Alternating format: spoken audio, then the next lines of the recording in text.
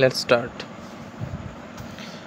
আমাদের টপিক হলো একটি ম্যাট্রিক্সের অ্যাডজয়েন্ট বিপরীত ম্যাট্রিক্স এবং একঘাত সরল সমীকরণকে ম্যাট্রিক্সের দ্বারা সমাধান।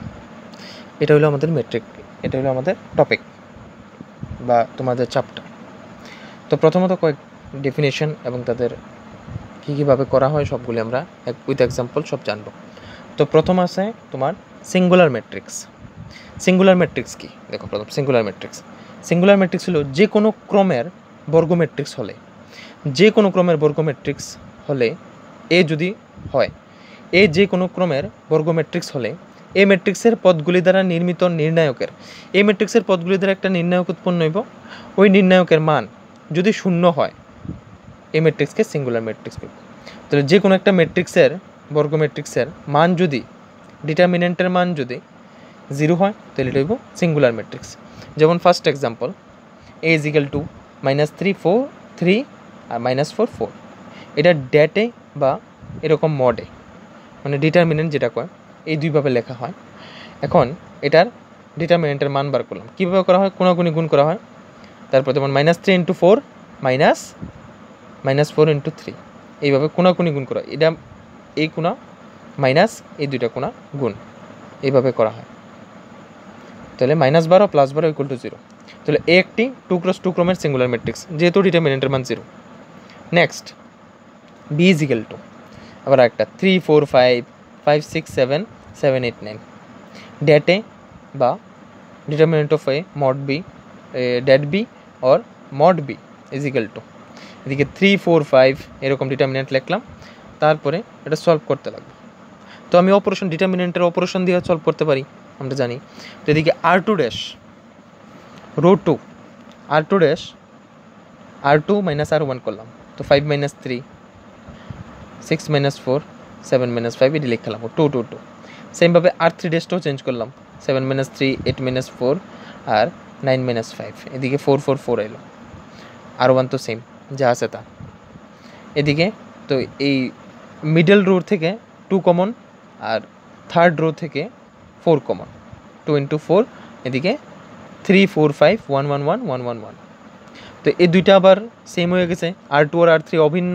তাহলে এটা হয়ে যাব জিরো তো এইট ইন্টু কত?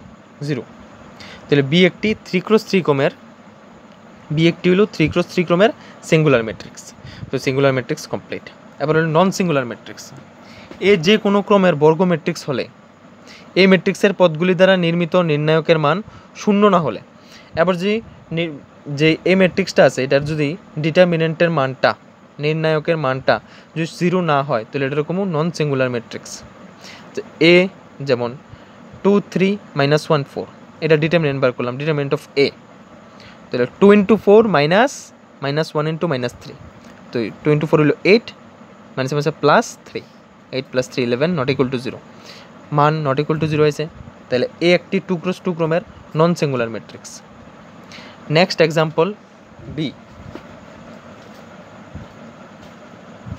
B is equal to two three minus four one two six three minus one two এবার det B or mod of B is equal to determinant simple এলিমেন্টগুলো লিখলাম ম্যাট্রিক্সটার এবার এটা থ্রি ক্রস থ্রিটা solve করে কীভাবে?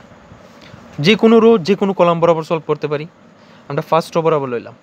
Plus তারপরে মাইনাস তারপরে প্লাস এটা যে মাইনাস ফোর আছে লেগে মাইনাস হয়েছে তাহলে টু রো কলাম বাদ দিয়ে লিখলাম, যা যা আছে।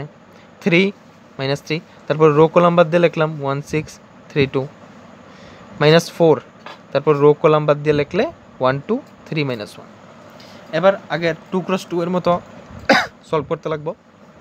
কোনাকুনি কোন তাহলে two into two minus minus one into six এদিকে ফোর প্লাস সিক্স সেমভাবে এটা এটা গুণ মাইনাস এটা এটা গুণ, এটা এটা গুণ মাইনাস এটা এটা গুণ। এইভাবে আমরা সলভ করার পর আমাদের এলো twenty plus forty eight plus twenty eight এগুলো ninety six not equal to zero তাহলে এই ডিটারমিনেন্টের মানটা জিরো না।